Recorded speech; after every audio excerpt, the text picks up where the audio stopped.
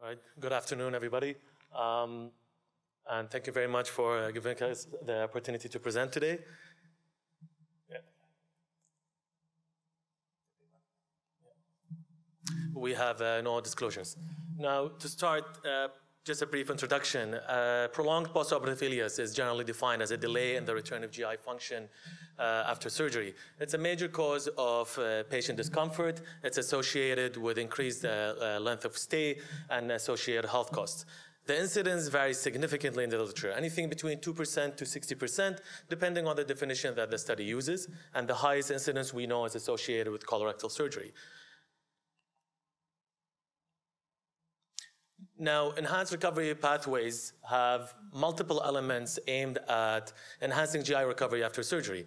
Uh, for instance, our McGill enhanced recovery pathway shown here on the screen uh, includes elements like early feeding, uh, avoidance of nasogastric tube insertion, uh, early mobilization, chewing gum, uh, with all uh, with the aim of enhancing GI recovery after surgery. Nonetheless, during our daily practice, we still see uh, postoperative ileus as a, a common encounter.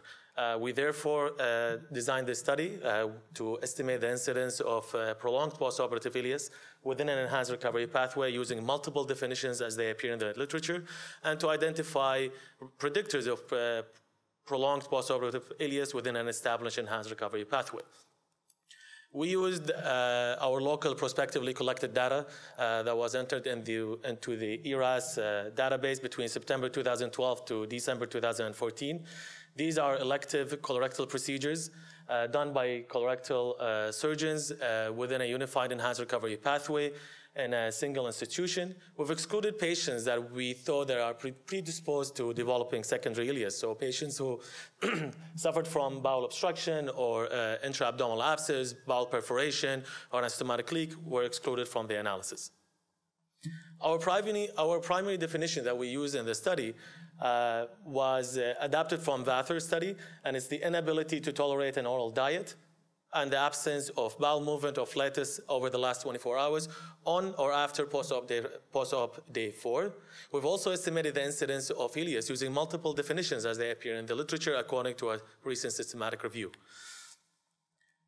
To to assess for the predictors of uh, ileus within our study, we, use, we used a Bayesian model averaging analysis. It's a fairly uncommon method for clinicians, but briefly, in Bayesian model averaging, uh, the all all the models resulting from including or exclusion of, uh, uh, of variables are considered, and the, the, the strength of association between the variable and the outcome is averaged uh, as averaged across all the models.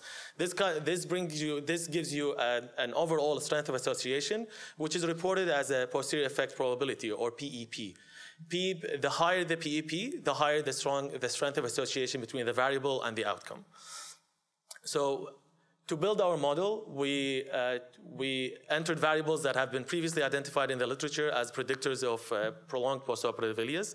And uh, most of these variables are self-explanatory. I'm going to go through just a few of them. So, uh, for instance, intraoperative fluids, we looked at compliance with our uh, uh local intraoperative fluid resuscitation protocol, in which we define uh, compliance as uh, patients who undergo laparoscopic surgery receive less than 3 ml of fluid per kilogram per hour, and patients who undergo open surgery receive less than 5 ml per kilogram per hour of fluids blood loss was entered as as a continuous variable in units of 50 ml. Epidural analgesia is pretty standardized in our uh, in our institution, and we use a local anesthetic with a short-acting opioids. And IV opioids, we looked at the use of IV opioids in the first 48 hours post-operatively, regardless of the dose or the duration of the use of IV opioids.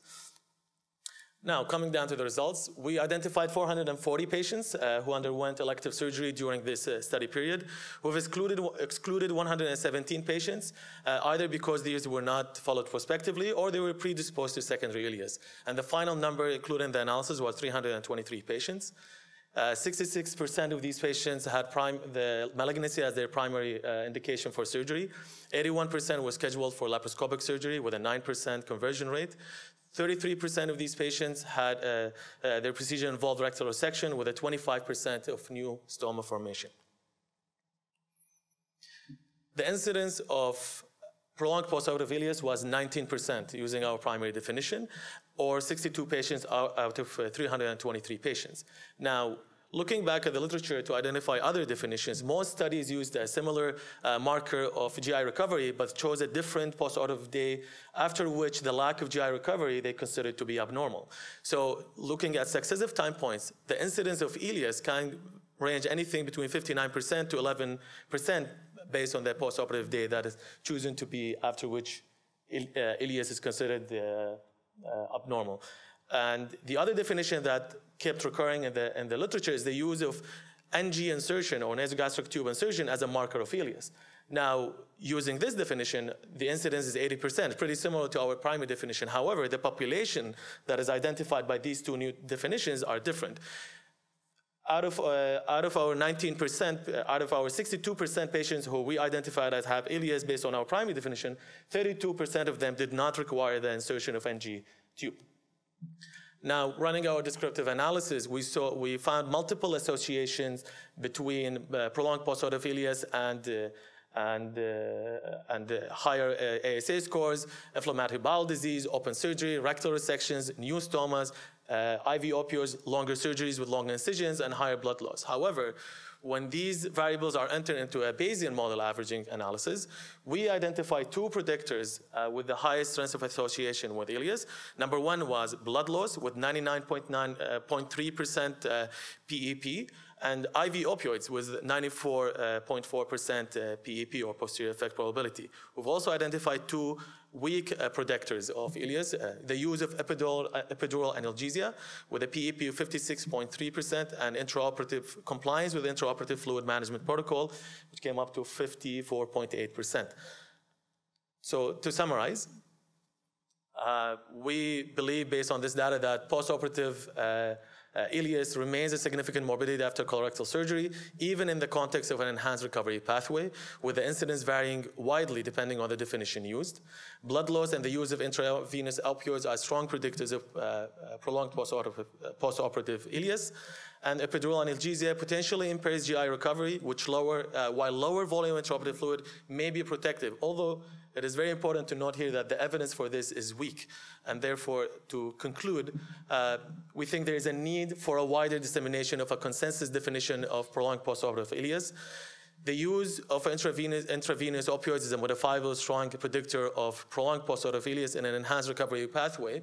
Uh, which is interestingly, although in our enhanced recovery pathway, we do uh, implement uh, opioid-sparing analgesia uh, protocols. Nonetheless, it became up as the highest, the strongest modifiable predictor uh, in our data. And the impact of epidural analgesia and intravenous fluid management on uh, ileus within enhanced recovery pathway should be further evaluated in bigger studies. Thank you very much.